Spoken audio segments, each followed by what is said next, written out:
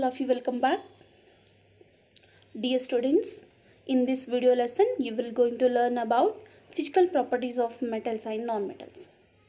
This is very important or very essential to learn properties of metals and non-metals. So in given picture utensils made up of copper and this is what? Gold. These are shining so the shining property is called the luster property. Means metals have lusters. This means they are shiny. Gold, copper, silver, iron, aluminum, etc. Metals are shining in nature. Next property that is ductility. The meaning of ductility is they can be drawn into thin wires. Example, gold, copper, silver, iron, metals. All the metals that can be drawn into thin wires. See here, magnesium wire, copper wire, gold wire, silver wire, anything. How to drawn with help of the hand means that can be drawn into thin wires. That property is called the ductility. Next about density. Metals have high density. The weight of these metals are very high because they are in the form of solids. So most of the metals have high density because of that they are heavy for their sizes. These are in the form of solids. In solids, all the atoms are packed very closely or tightly packed atoms. There is no motion of particles or atoms takes place. There is a no empty space between the between the each particle means only little bit space is there. Means all the particles are tightly packed. Due to this reason they are in the form of solids. There the density is more. Next one. Here. This tower they they used metals. Metals conducting electricity. And they are the good conductors of heat also means they are the conductors of heat and electricity. Metals are good conductors of heat and electricity that is it allows heat and electricity to pass through it easily. Example gold, copper, silver, iron etc. So this all shows the good heat and electricity properties.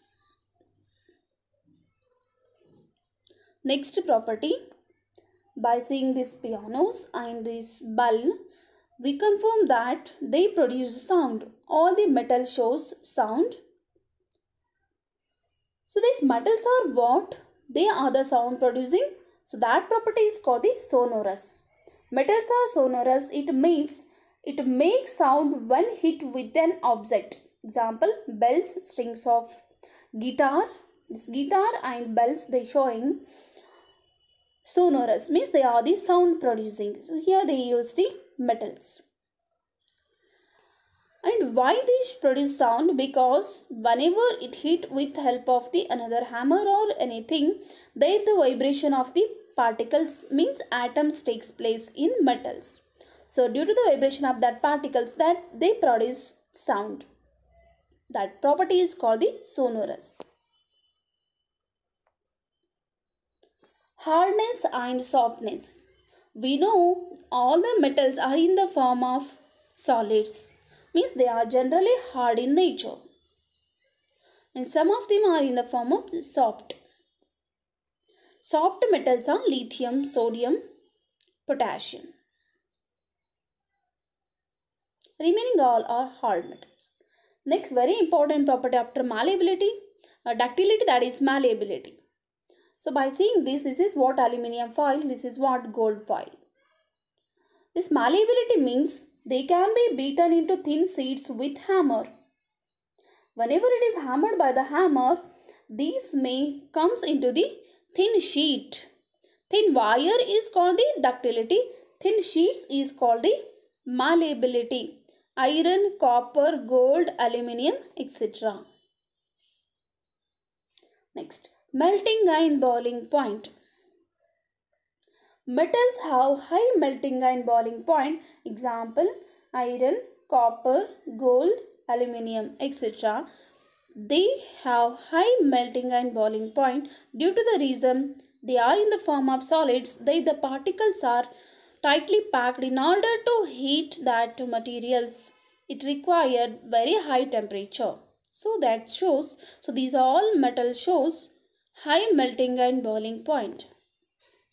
Iron copper gold aluminum means any metals they have high melting and boiling points. Okay next come to the properties of physical properties of non-metals. You already know non-metals are what? They are the bad conductors of heat and electricity. They are these are against the metals means they do not show the malleability ductility sonorous property luster properties. But some of them are exceptionals we will discuss exceptional properties also. First of all come to the malleability property. So these are what this is what sulfur this is what phosphorus. They taken the two examples here we taken two examples sulfur and phosphorus here the non-metals are not malleable but they are the brittle they break easily because they are the not malleable they whenever it is hammered by the hammer they do not comes into the form of thin sheets they crush time to the small pieces but they do not comes in the form of thin sheets and wires. They break easily. Examples here sulfur and phosphorus. Many metals, many non-metals they are in the form of gases. Ductility. Ductile properties what? Non-metals are not ductile. Given some few more examples silicon and boron they are not ductile means they do not come into the form of thin wires. Next sonorous. See all the non-metals are in the form of gases and few more in the form of liquid. That is what liquid non-metal is bromine. Non-metals are the not sonorous. They do not produce the sound. That means it cannot be sonorous means means it cannot be produced when hit with a hammer. Bromine, fluorines. They are in the form of gases. They do not produce the sound. It is called they are non-sonorous. Next come to the density. Non-metals are generally have low density because they are in the form of gases. Hydrogen, carbon.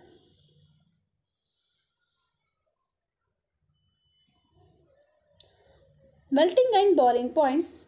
Non-metals have low melting and boiling point. You already know this. Because they are in the form of gases. Hardness and softness. Non-metals are generally soft. Carbon and phosphorus they are in the form of soft. Because they are some of in the form of gases. Conductors of heat and electricity. Non-metals are generally bad conductors of heat and electricity. Because they are in the form of gases whenever it is it is sorry then some of the exceptional cases. Uh, in non-metals and metals some of the exceptional cases are there. So we will discuss the exceptional cases. This is very important for the next. Uh, what are those exceptional properties? First one is electrical conductivity. What is that? Carbon. In the form of the graphite means this is what allotrope of the carbon. What is that? Graphite. Graphite is a non-metal which conducts electricity just like metals because metals conducts electricity. This is not a metal. This is non-metal. Which one? Carbon. All non-metals comes under P block. They are in the form of gases. Bromine is in the form of liquid eh, except all in the form of the metals. S side D block.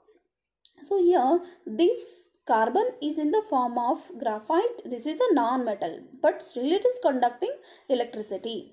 What is the reason? Because the structure of graphite, we observe the structure of graphite in microscope. There the carbon atoms are attached by the three valency three valency. So one of the valency of carbon containing free electron that move from move from one layer to another layer. So this momentum of one electron of this carbon conduct electricity. This is used in, this graphite is used in the pencils in the form of, we said that in the form of lead, no, that is called as graphite. all pencils made up of the graphite. That graphite is in the form of layered form. Next one, luster property. All the non-metals are non-lustrous, but still one is showing that luster property. What is that? That is called the iodine. See, iodine is a non-metal which is lustrous, having a shining surfaces just like metals. Iodine is a non-metals but all non-metals are non-lustrous but it's showing the luster properties. What is that element? That is called iodine. Please remember. Next, hardness and the softness. Example, lithium and given diamond. In alkali method, in alkali metals, lithium, sodium and potassium are soft metals just like non-metals. So these are the metals. Lithium, sodium and potassiums, they are the soft. Non-metals are the soft. Then metals are the hard. But these showing soft nature, what are those? Lithium, sodium, potassium, this is an exceptional. Then carbon. It is in the form of diamond. It is a non-metal which is extremely hard just like metals. Okay. Diamond is a non-metal. This is a non-metal. Non-metals are the soft but still it's showing what? Hardness. So extremely hard substance is what? Diamond only. That is non-metal. Still it's showing the hard but all the non-metals are the soft. Please remember this concept. Next one. Physical state. Physical state means solid, liquid and gaseous state. So mercury is a metal. All the metals are the solid but it is in the form of liquid at room temperature. So this is what mercury is a metal still it is in the form of liquid. Name the liquid non uh, liquid metal. What is that? Mercury. The symbol of mercury is Hg. Atomic number of this mercury is 80.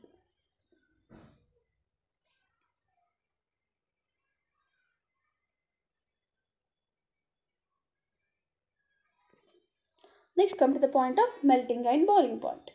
Sodium, potassium, cesium and gallium metals have the low melting point because all the metals have the high melting point. We know all the metals have the high melting point because they are in the form of solids, their atoms are tightly packed. But still the sodium, potassium, cesium and gallium have the low melting point due to the reason sodium, potassium, cesium, they are the soft metals. Sodium and potassium are in the form of soft, soft metals so they shows the low melting points. And one more reason, gallium is in the form of the solid. Whenever it is placed in our palm, it comes into the form of liquid state. So this is a reason to shows the low melting point. Next one more. What is that? Gallium and this is a cesium. Diamond. Diamond is a non-metal which has a very high melting point and boiling point because that is very hardest substances. All the non-metals are the soft but one exception we know before, diamond is very hard due to that reason, high melting point and boiling point. And one more reason that is very hard in the sense that the particle arrangement is very tightly packed due to that reason they have the diamond have the high melting and boiling point. Density. Alkali metals. Lithium, sodium and potassium have low densities just like non-metals okay lithium met alkali metals you know first group elements what are those lithium sodium potassium they have low density because of they are very soft they the particles are uh, not tightly packed loosely packed they the density is less its very lightest element is what what is that lithium very uh, low density is uh, very low density metal is what that is lithium